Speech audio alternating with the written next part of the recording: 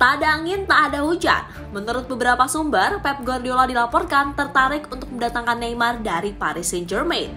Bahkan pelatih asal Spanyol itu sampai menelpon Neymar langsung apakah dirinya bersedia atau tidak.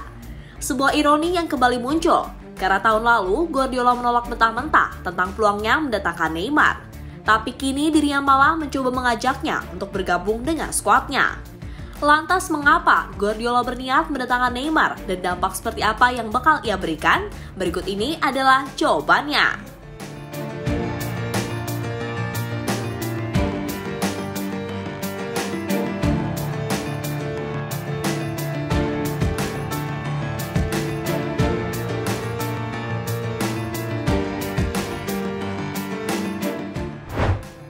Saya minta maaf untuk Le Parisien, tetapi itu tidak benar. Informasi mereka tidak benar. Neymar adalah pemain yang luar biasa dan informasi yang saya miliki, dia pria yang sangat baik tetapi itu tidak benar. Kata Guardiola pada ESPN. Ya, itu adalah komentar Guardiola saat timnya dirumorkan bakal mendatangkan Neymar pada musim lalu. Rumor itu kemudian langsung dibantah oleh Guardiola, dan menurutnya berita yang beredar di media tidaklah benar. Mantan pelatih Barcelona tersebut tentu memaklumi dengan rumor-rumor yang ada, karena kebetulan saat itu Manchester City tengah mencari penyerang sebagai pengganti Gabriel Jesus yang hengkang ke Arsenal.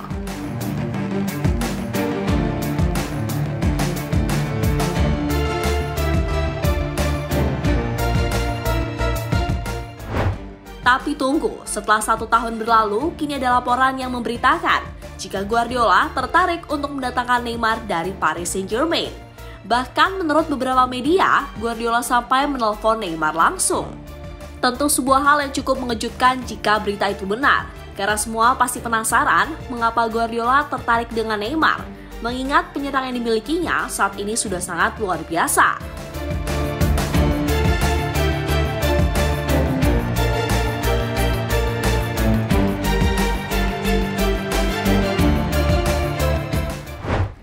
Jika melihat kebiasaan Guardiola musim ini, wajar jika dirinya ingin mendatangkan Neymar. Ya, pemain asal Brazil itu bisa menjadi opsi utama, sekaligus pelapis dalam taktik Guardiola yang sering melakukan rotasi. Itu berarti Neymar akan bermain bergantian dengan Phil Foden maupun Jack Grealish yang memiliki posisi yang sama. Strategi seperti itu kebetulan sudah dilakukan oleh Guardiola, di mana dirinya memilih Haaland sebagai striker utama, sementara pelapisnya adalah Julian Alvarez. Taktik seperti itu ternyata sangat manjur. Selain meminimalisir cedera, nyatanya Haaland dan Alvarez sama-sama tampil gacor musim ini.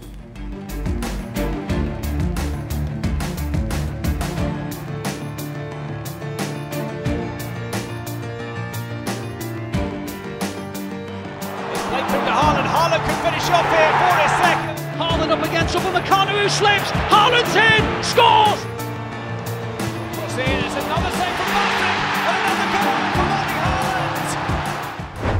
Selain itu, merujuk dari Transfermarkt, Neymar juga bisa bermain di berbagai posisi. Ya, selain di posisi sayap, ia juga bisa bermain di belakang striker, sehingga itu semakin memudahkan Guardiola, yang sebelumnya terkenal sebagai manajer kaya taktik. Dan bisa saja jika benar-benar bergabung nantinya, posisi dari Neymar kembali diubah oleh Guardiola, seperti yang ia lakukan musim ini pada diri John Stones. Tapi tunggu, dalam usaha mendatangkan Neymar, Guardiola tentunya juga harus hati-hati karena ada beberapa sisi negatif yang bisa saja ia terima. Di antaranya adalah soal riwayat cederanya.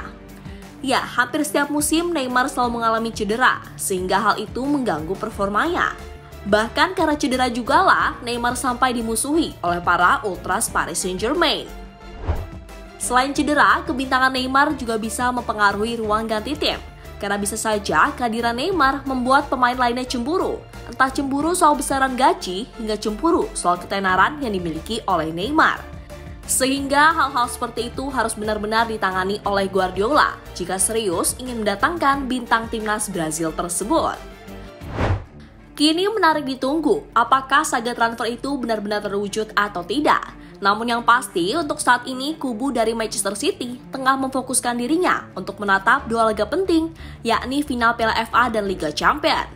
Baru jika dua laga itu sudah dimainkan, Manchester City siap terjun ke bursa transfer dan melanjutkan usahanya jika benar-benar berniat mendatangkan Neymar.